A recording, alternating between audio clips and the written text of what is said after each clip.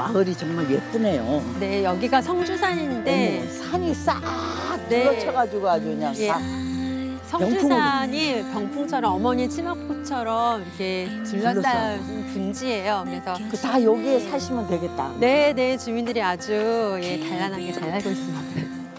안녕하세요. 어, 누구시래요? 뭘 마시는 거? 안녕하세요. 반갑습니다.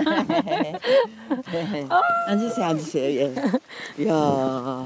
아니 뭘 이렇게 정말 진순의 성찬으로 이렇게 차, 차려놓으셨어. 이거 다 저희 난 나물로 붙여주신 거예요. 농사 다 지으신 네. 농사 지으신 아, 거예요. 예. 그리고 보령이 해산물로 유명하거든요. 네네네. 전복이랑 전복밥을 네. 하셨네. 저희 마을에서 난 양송이로 전복 양송이 밥. 밥을 하셨군요. 그리고 여기 양송이가 저희 마을에 나는 양송이. 아 예. 간이 맞을지 모르겠어요.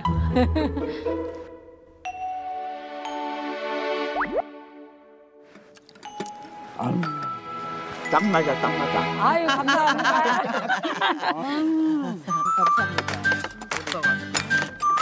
마을 분들의 정성에 절로 손이 간다. 맛있는 건 한 번 더 먹어야지.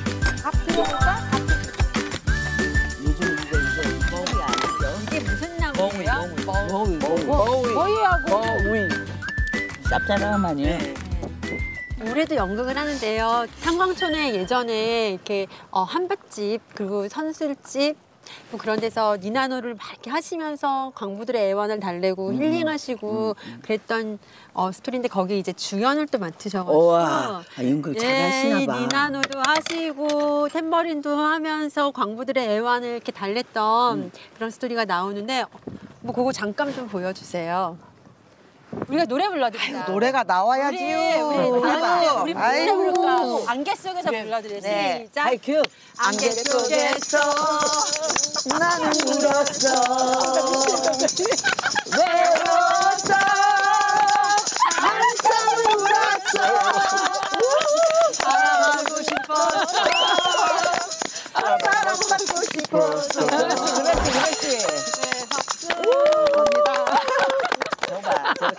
메이게 사랑하고 싶어서 사랑받고 싶어서 그러는데 왜 다른 데 가서 다 쓰는 거야?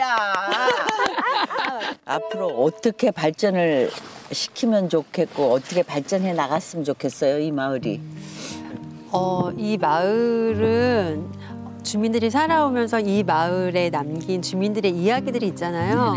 그 이야기들이 이제 제가 작가이다 보니까 그 이야기들이 너무 소중한 이야기들이라서 그 이야기가 이 마을의 자산이 되고 예 그리고 그 자산이 되어서 그 마을로 꽃이 피는 예 그런 마을로 발전시켜 나가고 싶어요. 정말 아름다운 얘기. 아름다운 고령 성주 산을 둘러싼 이 마을. 김치 좋아 좋아 좋아 좋아. 깍두기 좋아요. 아주 좋습니다. 오케이. 보령을 여행하며 문득 떠오른 생각이 있다. 인생 사진은 사실 자신의 자리에서 열심히 살아가고 있는 이들의 평범한 일상 속에 숨어 있는 건 아닐까. 그들에게 얘기해주고 싶다. 당신이 가장 아름다운 순간은 바로 지금이라고.